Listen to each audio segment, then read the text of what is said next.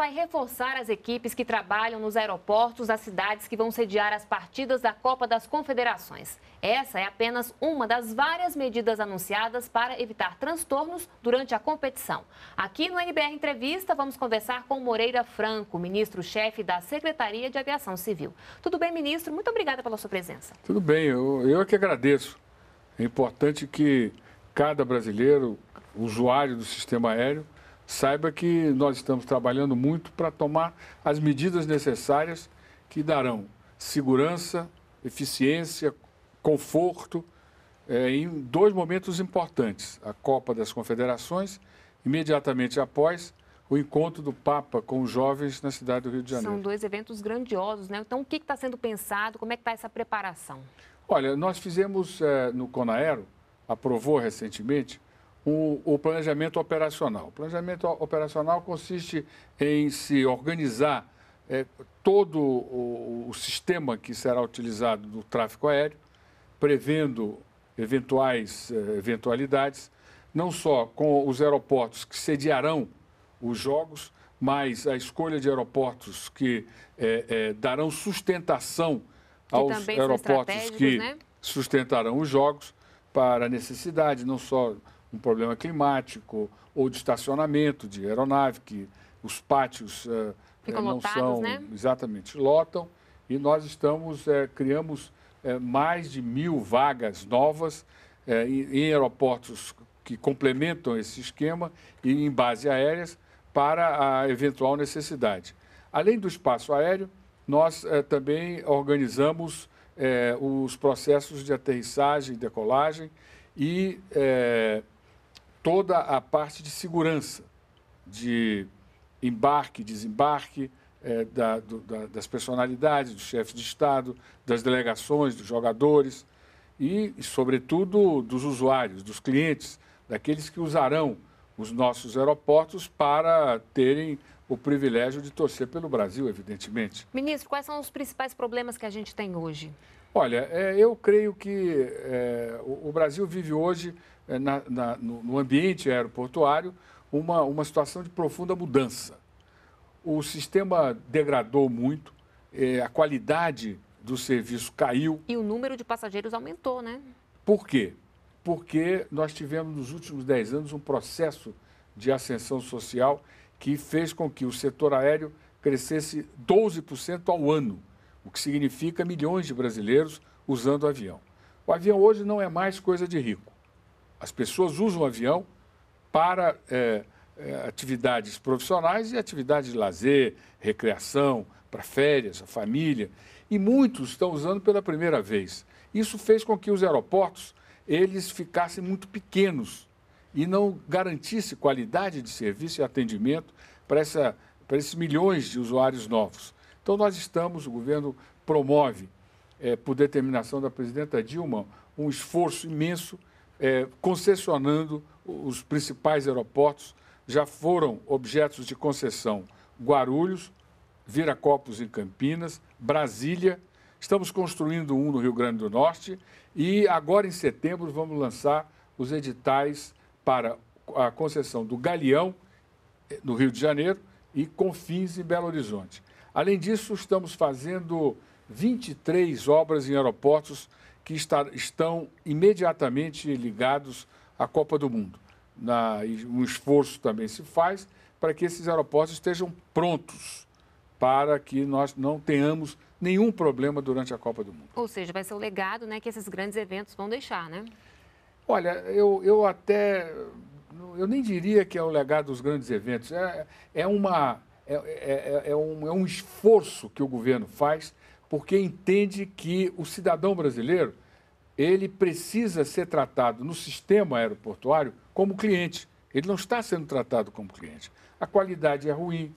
Os banheiros dos aeroportos, você que está me vendo, frequenta aeroportos, sabe que a qualidade dos banheiros é muito ruim, a mobilidade dentro do aeroporto é muito ruim, os check-ins são muito ruins, o sistema de táxi é, é deficiente. Demora na liberação de bagagem. A bagagem está ruim. Então, nós estamos trazendo para esses aeroportos concessionados os melhores operadores aeroportuários do mundo. Porque hoje é, é, a, a manutenção do serviço no aeroporto é uma operação complexa. Bagagem, por exemplo. Você embarca em Mossoró, indo para Xangai, entrega a sua bagagem no aeroporto de Mossoró, entra no avião e você só vai ter contato novamente com a bagagem em Xangai. Então você tem que ter sistemas é, é, de informatização é, que permitam que essa bagagem seja acompanhada e entregue ao cliente. E nós estamos, é, com esses operadores novos, trazendo essa tecnologia para incorporar no dia a dia dos aeroportos brasileiros e, com isso, deixar ao cidadão brasileiro, ao usuário do sistema, um serviço de qualidade. Esse é o objetivo, é por isso que o governo trabalha, é para isso que o governo trabalha, sob é, uma determinação explícita da presidenta Dilma de que é, o importante é o cidadão, é o usuário, que precisa ser tratado como cliente. Bom, agora o primeiro teste vai ser com a Copa das Confederações, né? Vai dar tempo de corrigir essas coisas que ainda não estão funcionando bem, ministro? Olha, é, eu, eu creio que nós vamos avançar muito, porque alguns desses aeroportos já sofreram é, obras de ampliação. É, o aeroporto do Galeão está em, um programa de obras que beira 200 milhões de reais é, e nós é, fizemos é, para cada aeroporto, a Infraero fez um plano de contingência, cuidando no mínimo detalhe no problema de garantir eletricidade, garantir uma mobilidade adequada, um ambiente é, de informação que seja amigável, que as pessoas participem. No caso do encontro dos jovens com o Papa, está se criando uma zona enorme do Galeão para que os jovens possam é, é, é usá-la quando estiverem saindo ou chegando, porque as estatísticas elas projetam coisa em torno de 2 milhões e meio de jovens, 3 milhões de jovens, e deve vir do exterior coisa em torno de um milhão de jovens. Então é muita gente, é muita, é, é muita pressão sobre um único aeroporto, que será o aeroporto do Galeão. Então nós estamos, inclusive, criando uma, uma fanzone para ir lá, terá computador, é, área, área de alimentação, para que possam esses jovens todos é, se desembaraçarem quando chegam e quando partem do Brasil. Bom, como é que vai ficar o reforço né, de funcionários públicos que atuam nos aeroportos, por exemplo, Receita Federal, né, pessoal da Alfândega, Polícia Federal? Vai ter um efetivo é, de funcionários reforçado? Sim, claro, claro, reforçado em todas essas atividades. Nós estamos é, é, mobilizando esses órgãos que trabalham nos aeroportos para que eles possam garantir um atendimento rápido. Fizemos o primeiro teste de funcionamento do sistema todo no aeroporto de, de Confins, em Belo Horizonte, onde tivemos o jogo Brasil e Chile. É, então, lá funcionou maravilhosamente bem. Vamos fazer um teste simulado em todos os outros aeroportos que teremos. É, jogos na Copa das Confederações, para que haja a, a, menor margem de risco. Então, daqui até lá, então, aproveitar para fazer essas simulações e esses treinamentos, né? Exatamente. Bom, a gente falou das mudanças né, é, terrestres, né? O que, que muda lá em cima, né, no espaço aéreo? Tem mudança também?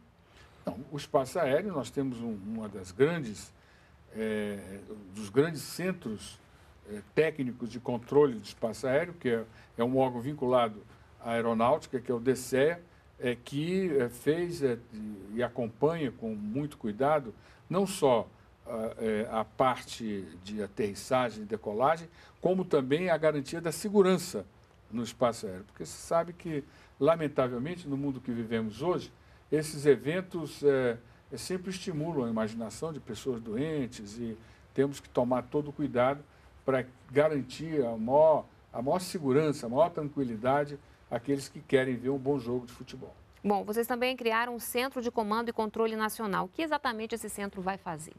Olha, nós temos é, é, é, várias cidades pelo Brasil inteiro aonde teremos jogos. Em cada uma dessas cidades tem um, tem um aeroporto, aeroporto grande. É, o plano de contingência de cada um desses aeroportos está vinculado, está sendo colocado a Infraero em contato com a Prefeitura e o Governo do Estado para que os, ele se integre no sistema de organização é, da mobilidade para o, o, o, evento da Copa das Confederações E esses, é, é, nós precisamos ter um núcleo que coordene toda essa operação aeroportuária. E esse núcleo estará na cidade do Rio de Janeiro, com um representante em cada um desses aeroportos, e, e neles nós vamos é, acompanhar é, durante todo o período da, da Copa das Confederações e no período do encontro do Papa com os jovens na cidade do Rio de Janeiro, para que qualquer problema tenha uma solução imediata. Médio prazo, o que, que muda, né? por exemplo, até o ano que vem? Olha, acho que nós vamos ter mudanças muito profundas. Acho não. Nós estamos trabalhando para ter mudanças muito profundas. É, nós estamos, por exemplo, aqui é, é, na cidade de Brasília, já se vê o volume de obras que está se executando. É, é, eu é, tenho visitado o aeroporto, já estive no aeroporto de Galeão, do Galeão, o aeroporto de, Guarulhos também. as mudanças são muito, muito muito profundas, muito rápidas. O cronograma de obras dessas concessões estão sendo executados. Os dois novos aeroportos serão é, concessionados e, o edital sairá no mês de setembro. É, além disso, é, os, os, aeroportos aonde teremos uma vinculação com a Copa, eles estão sendo modificados e estamos nos preparando também para trazer para a, a, operação dos aeroportos é, profissionais qualificados.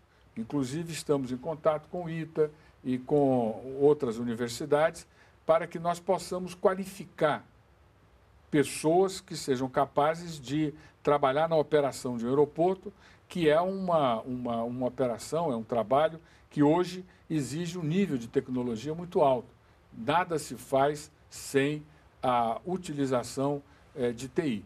Em nenhum aeroporto é, que garante serviço no mundo, isso ocorre. E queremos fazer isso aqui.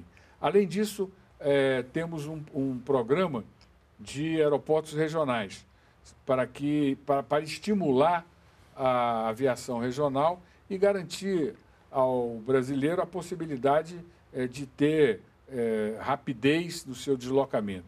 E para aqueles que moram na Amazônia, é, garantir é, é, até, às vezes, a vida porque naquela área, na área da Amazônia como um todo, da Amazônia Legal, o aeroporto, o avião, é um bem de primeira necessidade, porque as distâncias são muito longas.